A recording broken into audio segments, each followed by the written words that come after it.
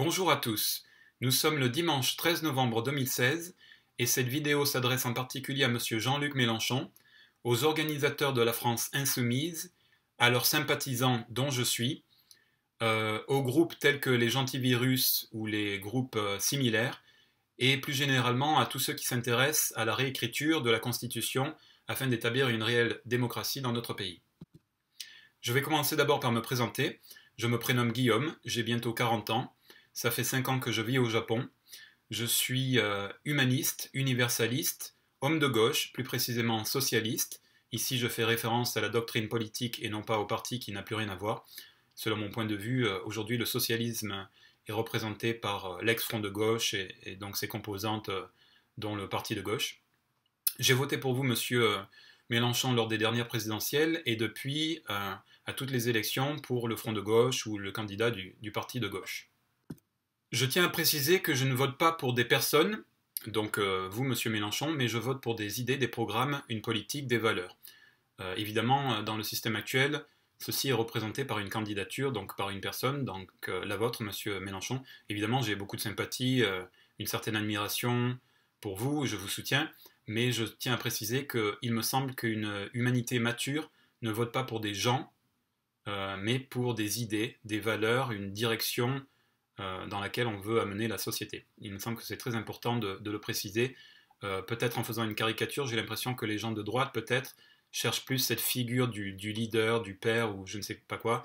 Et j'espère que peut-être à gauche, même si c'est pas forcément toujours euh, de cette façon que ça se découpe, droite-gauche, mais j'espère qu'à gauche on est plus mature et on comprend que ce n'est pas qu'il n'y a pas de personne qui incarne à elle toute seule telle idée ou tel changement ou tel leadership, mais que cette personne est, accompagnée de toute une organisation et évidemment de, tout un, peuple qui se reconnaîtrait euh, derrière. Donc pour moi, c'est très important de, préciser que même si j'ai beaucoup de, sympathie pour vous, Monsieur Mélenchon, évidemment, euh, ce n'est pas votre nom euh, en particulier qui, m'intéresse dans mon cas personnel, et je pense que je représente quand même d'autres personnes, mais plutôt les idées que, vous et que la France insoumise que vous avez mis en place euh, actuel euh, représente.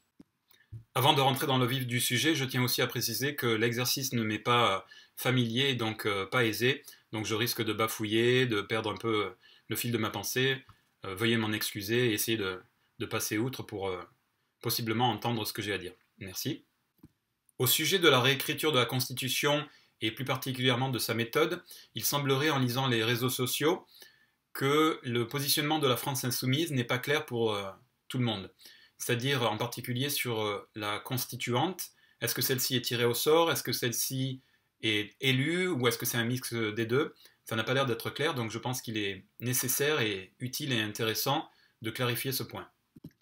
Tout en appelant à la clarification de ce point, je propose en parallèle et peut-être de façon contradictoire une autre façon d'écrire la, Constitution. C'est-à-dire que de mon point de vue, en fait, je ne comprends pas l'utilité de la, constituante, pardon.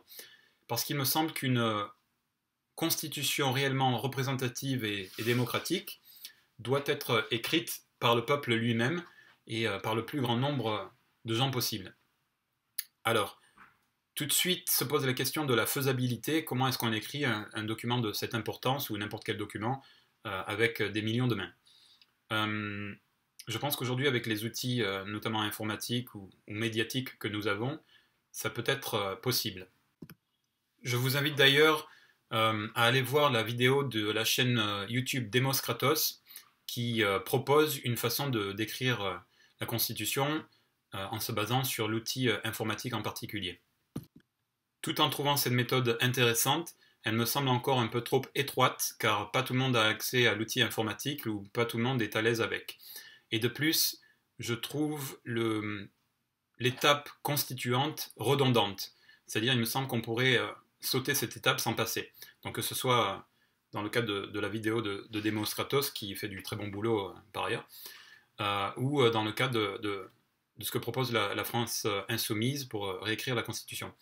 Je pense que, basé sur euh, l'idée euh, d'Étienne Chouard ou de son entourage des ateliers constituants, nous devrions, euh, si la France insoumise arrivait au pouvoir, faciliter, organiser, mais, mais pas organiser dans le sens d'être d'être les maîtres des lieux de ces ateliers constituants, mais simplement donner la possibilité, donner plus de facilité à n'importe qui de pouvoir réquisitionner un espace public pour pouvoir organiser ces ateliers. Il faut vraiment que, comme c'est un peu la politique de la France insoumise, de ne pas être dans des partis, voilà, là c'est la même chose. La France insoumise doit pouvoir euh, proposer des, places, ouvrir des, endroits ou autoriser des, attroupements dans, les rues, je ne sais quoi, pour permettre à tout un chacun, euh, de façon autonome, d'organiser ces, ateliers constituants.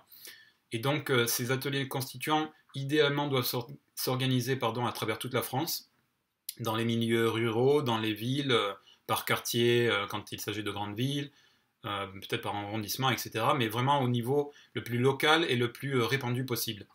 Et chacun doit pouvoir euh, proposer des, articles de, loi, on doit pouvoir les, discuter, les, affiner, etc. Et toutes ces données doivent être compilées. Alors c'est là que l'outil informatique rentre en jeu, mais pas seulement.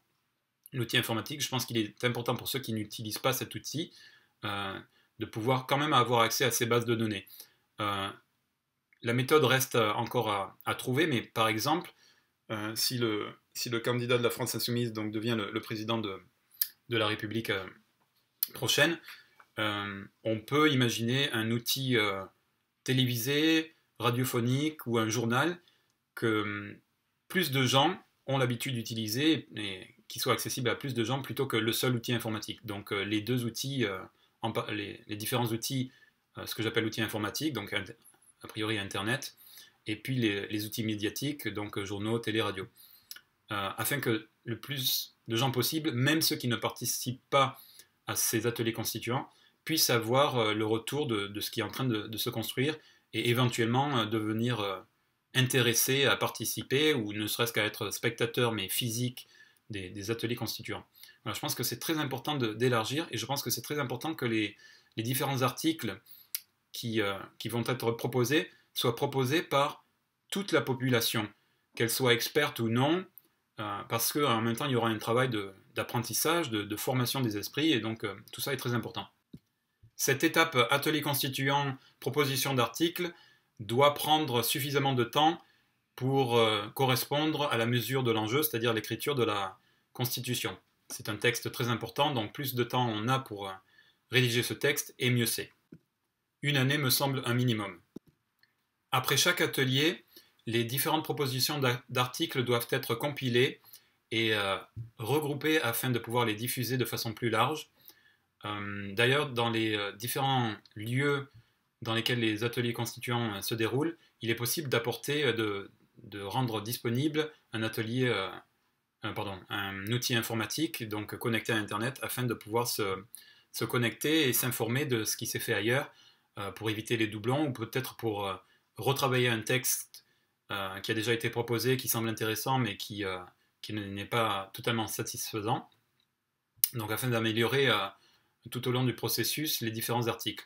Et à chaque fin de, réunion, donc les nouvelles propositions, les nouvelles lois ou les amendements les nouvelles propositions de modification de, lois précédentes doivent être euh, automatiquement, après chaque euh, atelier constituant, pardon, être euh, uploadées, comment dire en français, téléchargées, rendues disponibles sur, sur le réseau, afin de pouvoir donc le, quasiment en temps réel le, le, répandre sur tous les autres, le rendre disponible à, tous les autres lieux de, d'écriture de, la constituante, donc tous les autres ateliers constituants. À mesure que le processus avance, nous devrions voir apparaître des thèmes récurrents qui indiqueraient l'affinement de l'écriture de la Constitution. J'ajoute qu'il serait intéressant de pouvoir filmer ces ateliers, euh, à moins que dans l'assistance euh, des personnes souhaitent euh, garder l'anonymat, ce que je ne comprendrai pas vraiment, mais ça peut être le cas. Mais si ce n'est pas le cas, pouvoir filmer ces ateliers, même pourquoi pas avec des, des, diffusions en direct, comme les outils tels que YouTube le permettent aujourd'hui, ou euh, simplement en différé, afin d'éviter la corruption. C'est-à-dire que euh, tout le monde peut pouvoir euh, avoir accès à, visuellement comment s'est déroulé un atelier constituant, qui a proposé telle loi, est-ce qu'il y a eu des influences quelconques, ou est-ce qu'il y a eu vraiment un véritable débat, une véritable discussion autour des différentes lois discutées. je pense qu'il est intéressant de rendre les choses transparentes et la vidéo, en particulier la, vidéo en direct, pardon, mais pas seulement, donc la vidéo de façon générale est un, est un outil intéressant. cet outil vidéo permettrait aussi à d'autres ateliers constituants de voir comment tel ou tel atelier fonctionne. Il peut y avoir des idées comme, évidemment c'est organisé de façon locale euh, et totalement indépendante, euh, chacun peut arriver avec une, méthode de travail, une méthode de présentation, une méthode de, discussion différente. Et donc, euh, d'avoir accès à ces vidéos, tout le monde peut s'inspirer de, des méthodes qui semblent les plus, intéressantes. Et peut-être qu'au final, en, piochant à, droite et à gauche, on arriverait à, une méthode de travail que, la plupart des, ateliers adopteraient euh, de façon totalement autonome et qui serait donc euh, plus efficace et permettrait une, écriture peut-être euh, plus rapide ou en tout cas de meilleure qualité de, la Constitution. Une écriture, c'est ce que j'ai dit, oui. Car la corruption est un questionnement réel.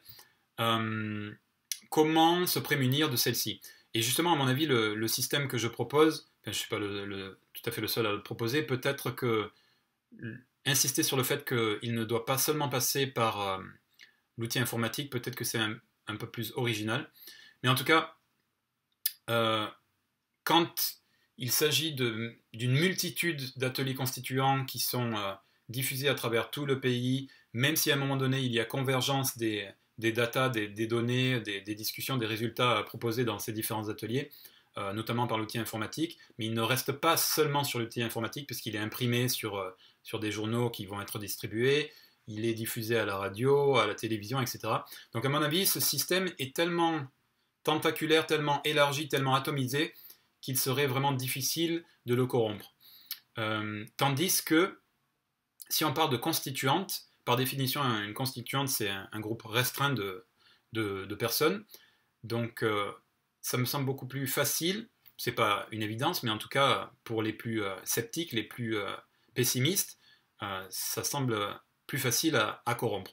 Donc c'est pour ça que l'un des avantages, outre la représentativité, la, la, participation euh, d'un maximum de gens, on n'est pas obligé d'aller dans ces ateliers constituants, mais comme Demoskratos, pardon, la chaîne Demoskratos sur YouTube le, disait dans sa, dans sa vidéo, on ne va pas obliger les gens à y aller, à y aller pardon, mais tout le monde est libre d'y aller. Et comme le processus va durer probablement une année, euh, on a le temps de, maturer, de, choisir si oui, si oui ou non on y va, décidément j'ai du mal, et, euh, si on participe ou pas. Donc c'est beaucoup plus ouvert qu'une simple constituante. C'est pour ça que pour moi la constituante, en fait, je ne comprends pas véritablement à quoi ça sert, puisqu'on peut l'écrire euh, tous, on peut tous proposer, on, devrait tous proposer, euh, ne serait-ce que même si on, propose des, idées euh, stupides, en tout cas, euh, ou en tout cas qui ne, s'appliquent pas ou, qui ne sont pas suffisamment réfléchies,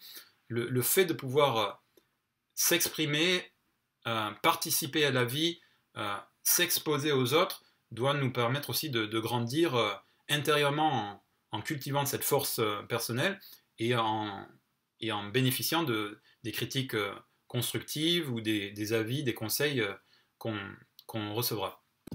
Désolé, cette dernière partie était un peu confuse, mais euh, je ne vais pas la, retravailler, je la laisse comme ça. Elle, part un peu en, quelques digressions. Mais j'espère avoir répondu en tout cas euh, à l'inquiétude de la corruption. Ensuite, il y a une autre inquiétude, c'est mais qui est-ce qui va écrire, qui va proposer ces articles On n'est pas forcément informé, peut-être même qu'on est désinformé, on le voit actuellement avec les médias qui font plus de propagande euh, que d'information. Donc on peut avoir la crainte, certaines élites peuvent avoir la crainte du, peuple qui, euh, euh, traversé par ses passions, vont écrire une mauvaise constitution. constitution pardon.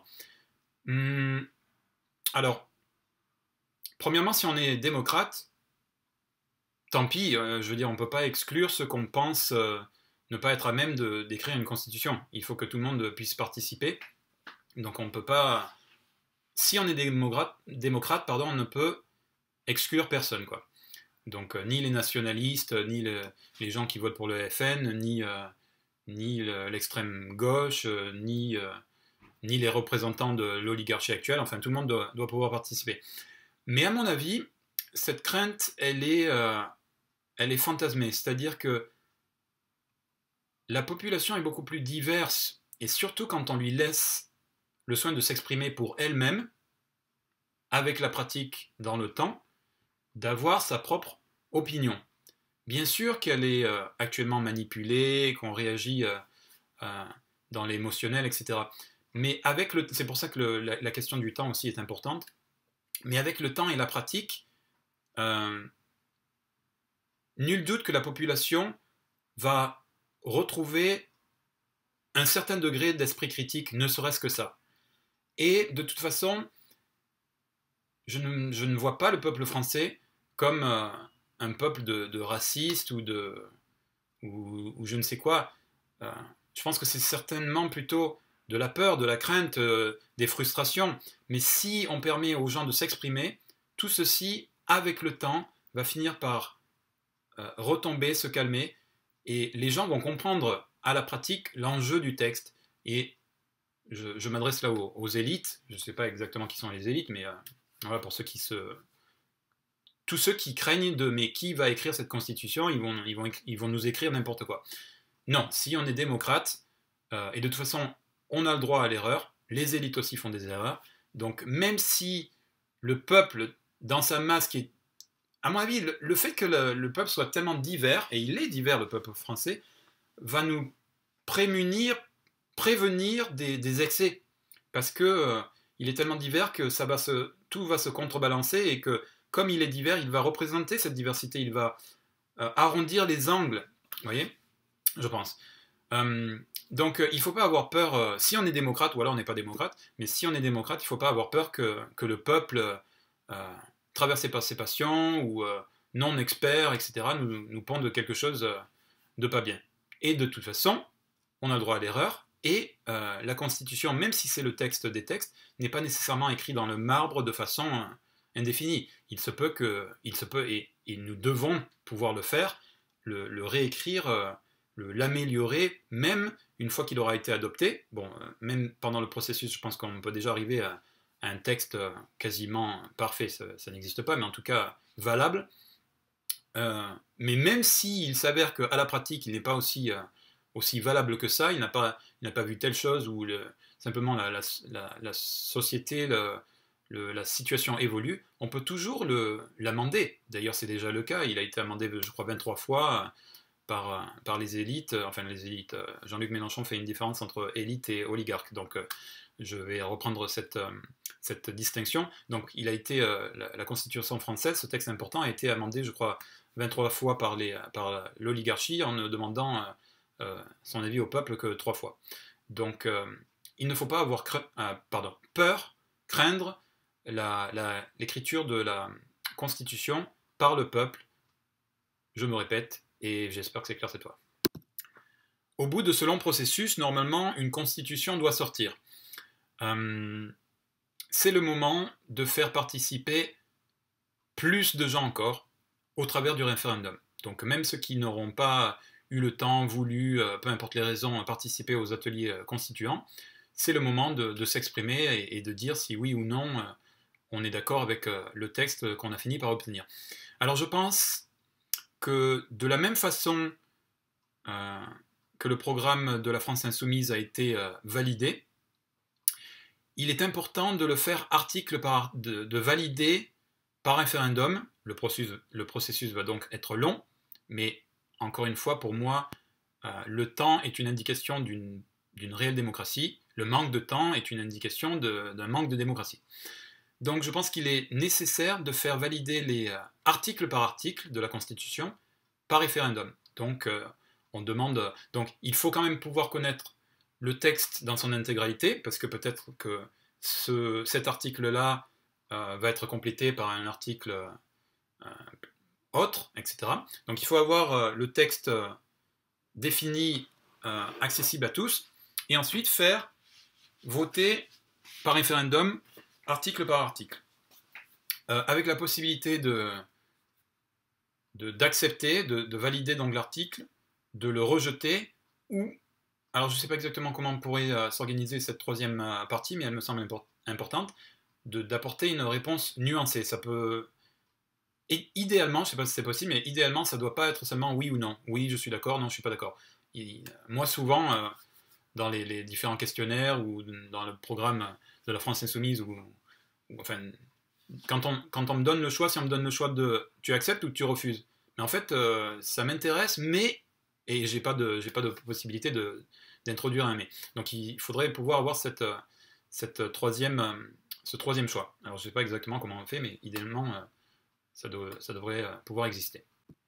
Donc au bout de ce processus, nous devrions avoir enfin une constitution réellement participative, réellement démocratique, validée par tous ceux qui auront souhaité participer au référendum. Euh, maintenant, je souhaiterais répondre à ceux qui euh, critiquent la position de la France insoumise et de Jean-Luc Mélenchon euh, en voyant une contradiction dans le fait de nous proposer de réécrire la Constitution, c'est-à-dire de nous redonner le pouvoir sur notre destinée, sur les règles du jeu, et en même temps proposer un programme comment, comment les deux peuvent fonctionner? C'est très simple. Euh, on est tous d'accord pour dire que euh, la politique néolibérale qui s'applique depuis euh, plusieurs décennies ne nous convient pas. Donc, la conclusion, c'est il faut changer.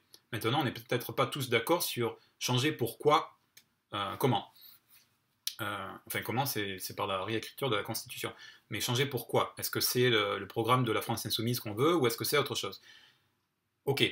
Mais puisqu'il est nécessaire d'avoir le temps adéquat afin d'écrire une constitution valable, il faut en attendant amorcer un changement et permettre ce, laps de temps de, réécriture de la constitution.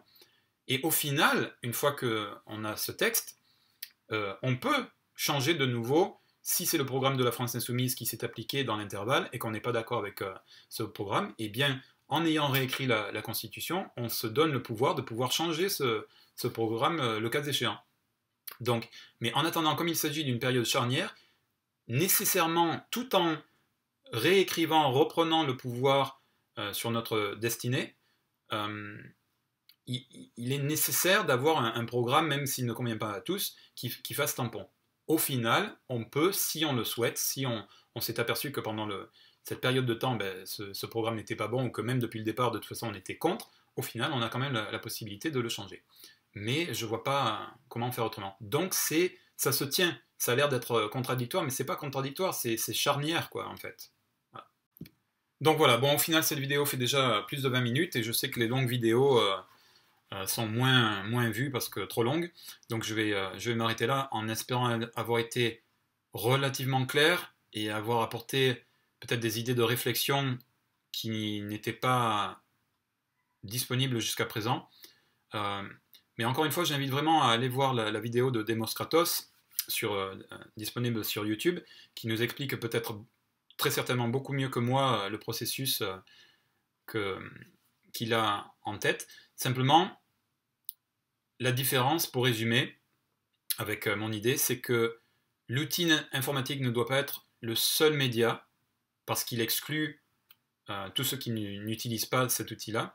Et puis, la, constituante me semble simplement inutile parce que de l'écriture, la, proposition des, articles, de loi par le peuple, puis la validation par référendum par ce même peuple, je ne vois pas à quoi sert la, la constituante entre les deux à moins que je manque de, compréhension, euh, d'éducation, et dans ce cas-là, il va falloir m'apporter euh, précision.